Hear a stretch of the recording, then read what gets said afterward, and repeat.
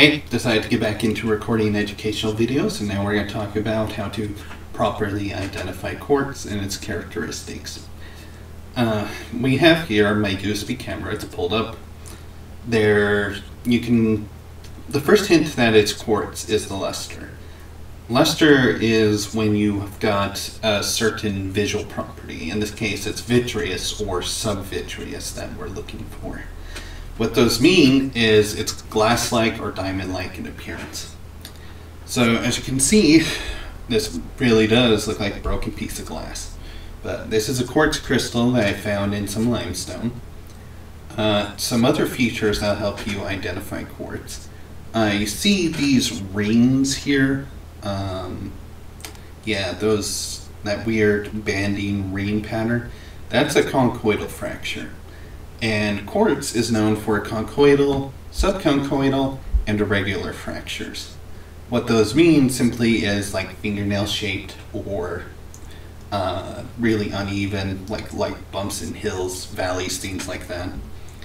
Another thing we've got going on here is we've got the fractures themselves being iridescent in some areas, uh, like down here.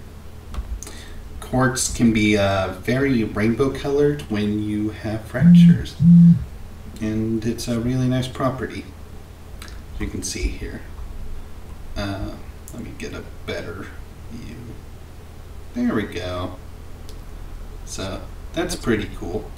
Uh, another thing that will help you identify quartz as opposed to fakes since there's a lot of glass that's shaped like quartz out there, is the glass isn't going to have natural fractures and it's not going to have bubbles either. Uh, if you look closely enough in quartz, let's see if I can get it. You should be able to see bubbles from formation. I, well, the example I'm using here is a particularly nice piece of quartz so it doesn't have much in the way of bubbles. But usually there are evident bubbles. Uh, you can kind of see some here in the back. Just had to get the right focus. So if this was glass, all the glass replicas tend to not have that. Also, quartz is a lot harder than glass. So a simple hardness test will do that. Quartz will scratch glass easily. It will scour it. Uh, which means it will leave a deep groove that you can actually feel with your finger if you run your finger over the scratch. But if you're if you're got a fake quartz crystal, the glass is just going to kind of rub on each other and might leave a scratch, but it's not going to scour it the same way quartz does. Then there's the crystal shape of quartz. Um, it always has like six sides, although they are not always even. Uh, it has three-way symmetry, usually. And what that means is you're going to have two faces on one side that match each other, two faces that match each other, and then two faces that match each other. And they'll be parallel and about the same shape. But with uh, and with a really good quartz crystal, you can get up to six-fold symmetry where they all match each other. And if you've got a full crystal, they'll come to a termination. The quartz has a lot of different kind of terminations. Some of them come to an even point with six faces. Some of them have an elongated face and then a short face. And that's due to one side uh, growing faster than the other. And sometimes you end up with weird things like skeletal quartz, where the outsides of the crystal were growing faster than the inside, and then you get what people like to call a hopper crystal. Uh, so, figured starting with quartz is a good way to do a video. There's also calcite in here. Right here in this crack is a scalenohedron, also known as dogtooth calcite. Um, so I've got another quartz crystal that's for reference over here that I collected recently. Then I'll drop it and everything. Okay, here we go. Maybe this one will have more evident bubbles. Uh, here, focus, focus.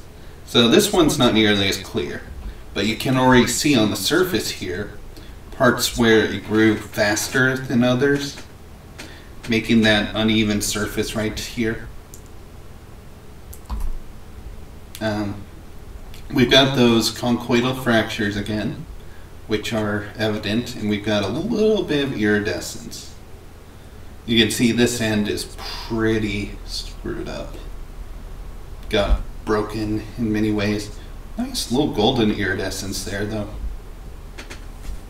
For the record, that is not a gold inclusion. That's just light plate. There is no gold or other heavy metals where I was collecting. So, just because it looks gold does not mean it's always gold.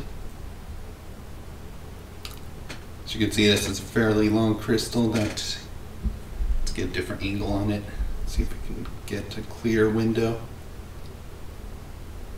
Ah, uh, shoot. Oh, there's a lot of, let's see. There's a lot of quartz crystals in this sample.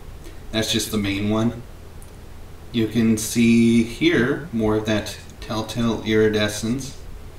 Some twinning, some fracturing. Not seeing much in the way of super evident bubbles yet. Oh, I can I can sort of see some in here. Um, yeah, I gotta stop shaking at one moment. kind of hard to hold the sample. Yes, so here we've got twinning in the crystal. See how it's going off in a V shape? That's because it decided to grow in one direction and the other. So this is a pretty cool example of twinning. Uh, you can have twinning happen inside the crystal or it will make offshoots, uh, intersecting crystals of various kinds. There's a bunch of kinds of twinning when it comes to quartz. Let's see what we've got here. Bunch more quartz crystals on this sample. It's just a bunch of quartz mixed in with calcite. Sometimes if you're lucky you get double terminated quartz where it has a point on both ends like this piece. Right there. Yeah. Anyway. Okay. Yes, I make a lot of noises when I'm doing this because I ramble. Anyway, here here's the uh, here's your little tutorial, I suppose.